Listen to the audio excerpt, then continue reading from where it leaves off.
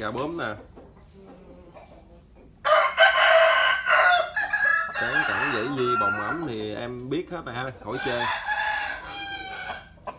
Sổ em cũng thấy nó nói rồi.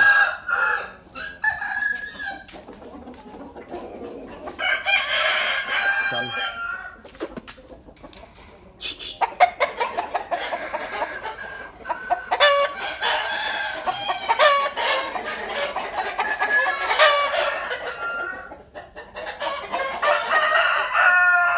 Yeah.